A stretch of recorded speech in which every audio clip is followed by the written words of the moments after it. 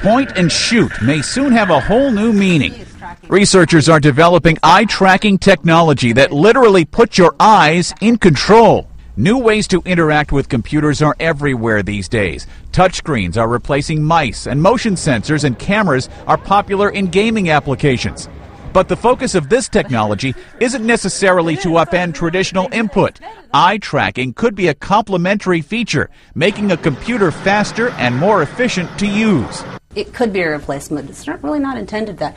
It's for that. It's really intended um, to help you do the things that you do already more efficiently.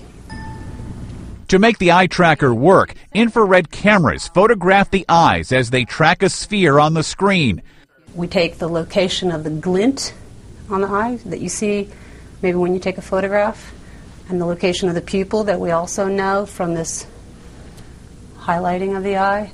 We build a three-dimensional model of the eye in space and we know exactly where your eye is in three-dimensional space. For this prototype, Tobii engineers set their sights on gaming applications to demonstrate its abilities. Well, the thing about it is it's so easy for everybody to get. Do you know what I mean? Feel like, oh, I see that. Yeah, turns your eyes into lasers. Who doesn't want that? Tobii doesn't expect its eye trackers to be in consumer devices for at least two years, but getting the technology out at conventions like CeBIT is key, says Barkley, to help in its adoption.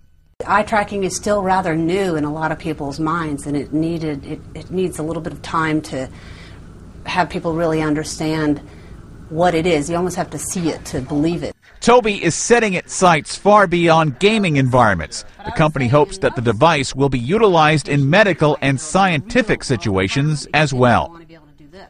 Ed Donahue, The Associated Press.